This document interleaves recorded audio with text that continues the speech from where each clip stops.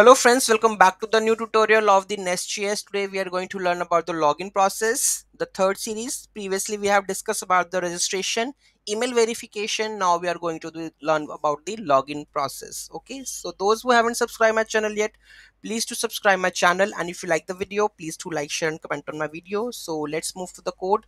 So here we have the login system so the last we have done with the this one so here we have the, no this we done later email also. So let's do the email login. Okay so here we have the 905 and the password is same. Let's try to log in. So here you can see that we received the login and we have the jwt token also. And here you can see that the user information photos profile pic and everything right? So let's see how we are going to do that all of this. So go into the code level so here we have a auth controller right? So here we have we can see that email login right? So here auth service validate login whether this email and the password is valid or not. So validate the login first. So what we have to do we have checked the first email okay? If it is not then user not found.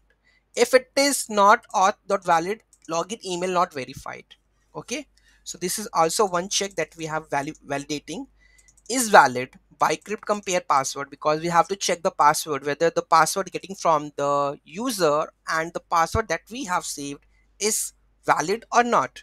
Is valid pass then with the help of the jwt service we are going to create a token that here we are passing the email and the user db roles okay? So whether you want to check you want you will send the email and the password also to create the token.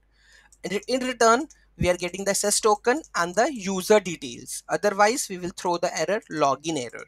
Okay. So here you can see that. So here we have a create uh, create token part. So let's check the create token service that we have added in the JWT service. Okay. Here you can see that. Okay. The model we are using the so user. Okay. So here, we have we have a configuration expired secret user info token and return all of this information. You can see that. So here we have the all the expire in user info and all in the postman. You can see that.